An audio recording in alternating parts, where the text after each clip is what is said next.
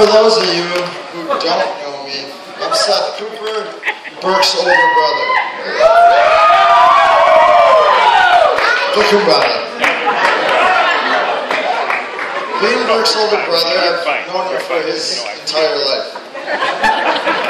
Going back through his life, Burke's always had these grand plans, different business ventures, career paths, destinations of travel, great ideas that he's came up with.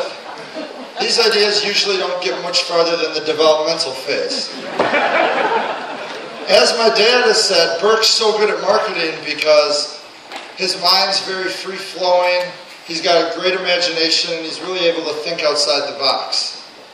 Burke recently told my mom that if our family knew his entire, of all of his different business ideas and overall plans, that they'd think he was more crazy than we already do. so I guess I don't know all of his plans, but I do know a few throughout the years that I'd like to pass along. Burke's first idea was to be a, grow up to be a professional magician.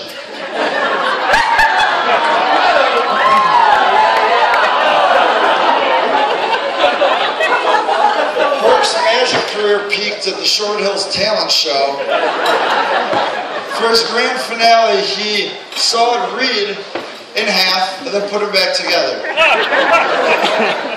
With the help of Charlie McKenna's feet, he was able to pull this stunt off soon after he hung up his magic wand. Next came Burke's idea that he was going to start a boy band.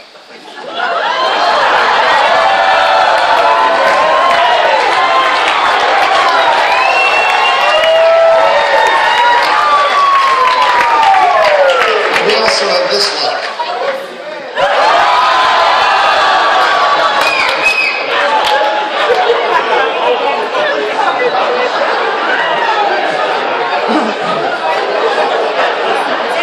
The boy band look kind of phased out of that and he launched into his Eminem rap career idea.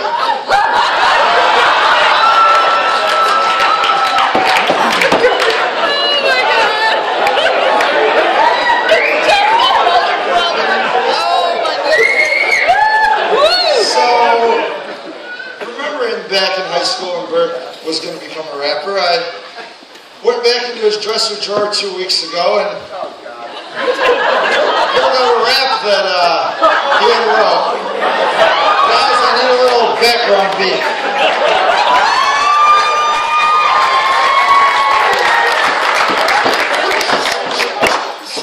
I ain't bragging about my flow because I know. Some of y'all think I'm whack because I'm white. Same ones will watch me take flight. Get big, take bids.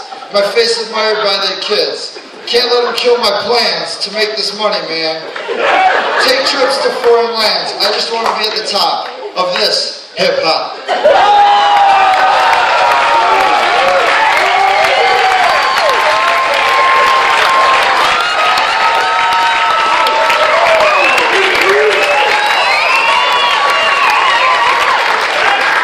I think the crowd likes it, but that. I don't. I think uh, Kristen and your employer might. You know, they, they'll look. I think you should go back at it. So Burke's next idea was to become a professional poker player.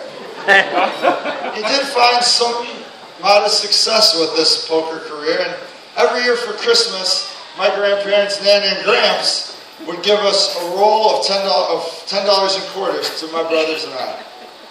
Well, as soon as presents were done and all the Christmas activities passed, we would they would leave and we would instantly go to the dining room table where the Cooper Christmas Poker Tournament would commence. this tournament was we used the quarters and winner take all between my brothers and I. And Nan and Gramps Again, sorry for using your quarters that way. Nana would always tell us how all years she'd steal all Gramps' change and all his quarters to give us the roll, but we do really appreciate the quarters and hope that they keep coming in the future. So Gordon was successful win this very prestigious Cooper Christmas Poker Tournament. His next business adventure career path was to become a professional darts player. Again, Burke had a little. He had a, again, like, like poker, he had a little success with darts as this plaque will show. This is a plaque that Burke won for winning the Madison Downtown Bar Poker Tournament. Burke won six consecutive years of the Madison Downtown Dart Tournament, and Monday's bar, which was Burke's home bar, still proudly displays six of his championship plaques on the wall. Sadly, Burke had to retire from his dark career as he moved to Minneapolis, but I have first-hand knowledge that he's still Dart skills are still superb, and I wouldn't suggest challenging him for anything more than fun. And I've, as I've seen way too many people pay off a wide variety of, of bets throughout the years. So as Burke, you know, likes games, and with the Olympics going on right now, Burke too was touched by the Olympic spirit. 2010 Winter Olympics in Vancouver.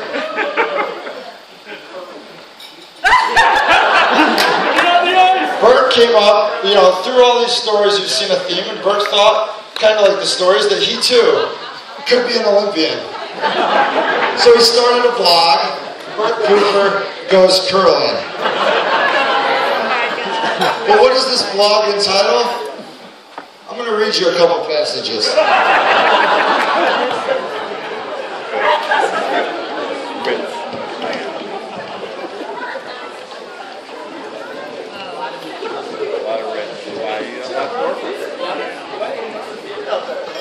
February 25th, 2010. Hello, world. Hello, everyone. Welcome to my blog dedicated to my journey to become an Olympic curler. February 26th, 2010. Road to Sochi. The other night, I was watching the Olympics with some friends, and out came the odd game of curling. We sat, drank, watched, discussed, and soon began making claims that we too, given enough time to train, could become Olympic curlers. Our sights, 2014 Olympics, Sochi, Russia. I decided soon after that I was not okay simply claiming that I could become a great curler.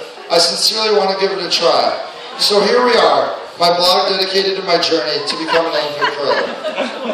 February 27, 2010. Burke's curling stats. Time, zero minutes. Money spent, two dollars.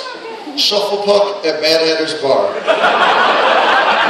Curling accomplishments. I started a blog.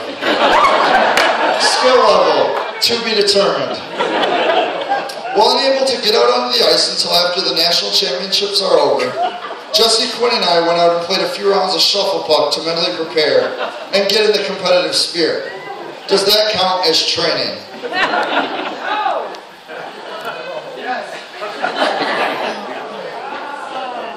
February 28th, 2010.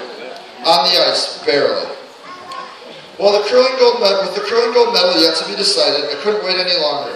So I headed down to the ice rink to do a little sliding around. I don't earn a curling stone, but I figured since an Olympic stone weighs 42 pounds, I would just grab a 40 pound dumbbell. Yeah, that'll work. I also don't earn a curling broom to lean on while I slide, but whatever. An old hockey stick will do the trick, right? And of course, I don't own curling shoes. Yeah. But the obviously next best thing is soccer cleats. Duh. So there I was, standing at the edge of the hockey rink with a 40 pound dumbbell, a hockey stick, and soccer cleats. Do you think it worked?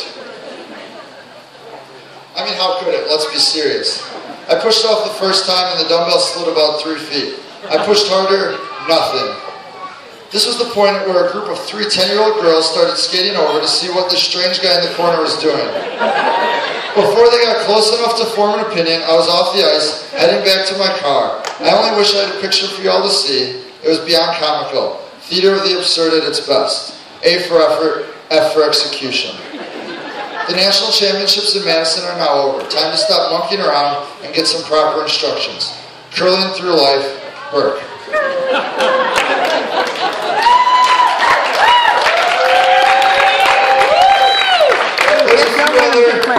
different entries where he talks about we curling, talks about actually going down to Milwaukee and actually getting in a curling match, which he says ends with future Olympians three, other guys two.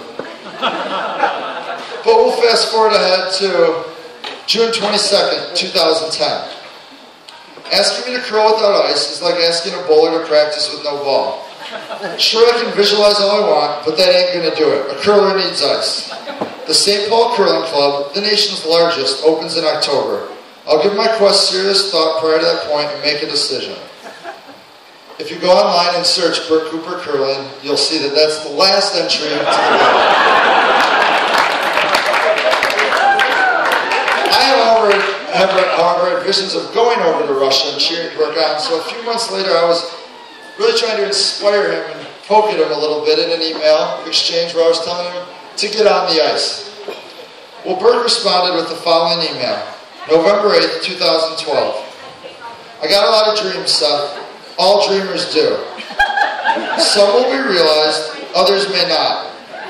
The lengths that it would take to try and make Sochi reality would have killed too many others. Burke. I'd like to think that one of those dreams he was talking about is becoming a reality tonight. Yeah. Burke's next idea was to mass market this. Many of you are probably wondering what this is. Burke went to a concert one night and bought one of these to put on a beer bottle to allow you to shotgun or beer bomb a beer quickly. Well, Burke had a few of these that night and decided this was such a great idea that when he came back to Madison, he thought he'd sell them throughout the dorms. He got with Jesse Quinn and they went to the hardware store and assembled 200 bottle beer bongs to sell throughout the dorms.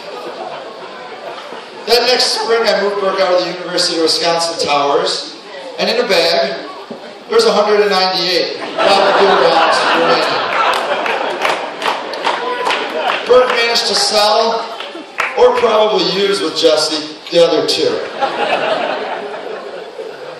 My next memory is with Burke studying abroad in London and then myself going to meet him upon his completion of the program. Burke studied abroad across the street from Hyde Park in London is junior year of college. The University of Wisconsin program he was in had a flat.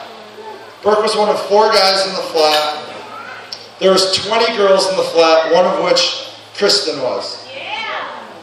Upon hearing of this four guy to 20 girl ratio, my brother Cale bluntly stated, Great odds. Burke was enamored with Kristen from the beginning of the semester, but as you've heard, Kristen had a boyfriend back in the United States. Well, later on in the semester, Kristen broke up with her boyfriend, and that's when Burke and her started going on a couple dates. But it wasn't until the last week of the semester that they first went on their first date and then started hanging out. They said their goodbyes, and as some of you have heard, Kristen gave Burke two notes, one of which he couldn't read till he was flying home, the other one that he could open as soon as she left. Well, I flew over to Rome. Burke met me in Rome when we were going to spend 17 days traveling around Europe. As we're there, we're catching up when I land, and Burke keeps telling me about this girl, Kristen, that he met. And on and on he's talking all these stories, Kristen, Kristen, Kristen, Kristen. I just thought it was nothing more than a little amusing crush, nothing serious.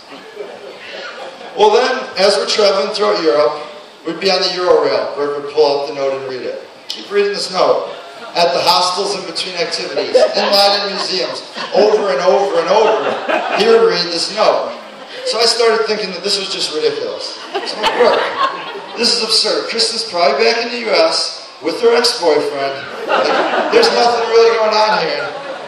He'd assured me that no, Kristen's great. And he told me in five years they were going to travel to Brazil together. Five years. I, I, I was astounded. Five years, man, you've only been dating for five days. Now you're telling me you have a five-year plan? Well, Bert was convinced.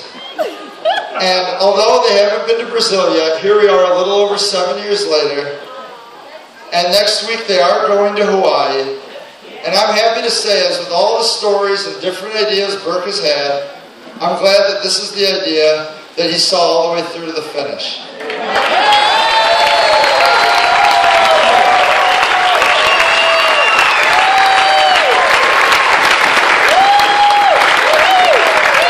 With that, along with my two brothers, we'd like to welcome Kristen into the Cooper family as our first sister.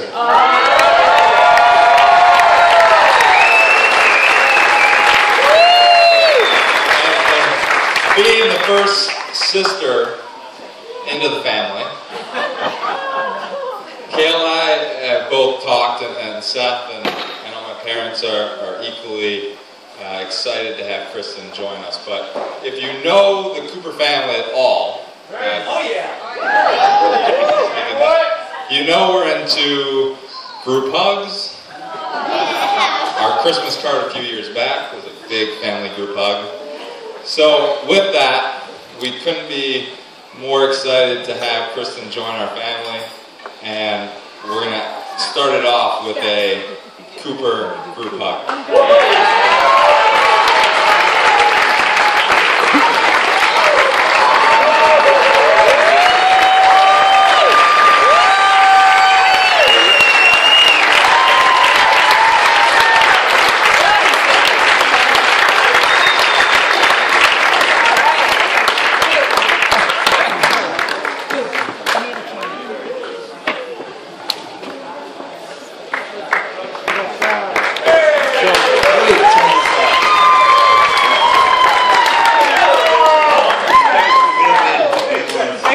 I can sit back there.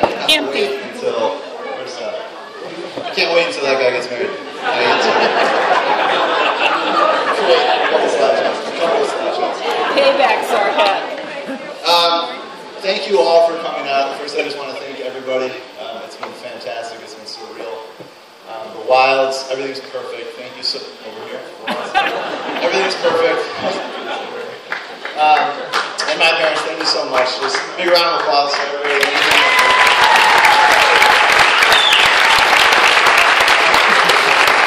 I, didn't, I found out two days ago that I had to give a speech, or is this a toast? Yeah. It's gonna be more like a speech. It's gonna be more like a speech.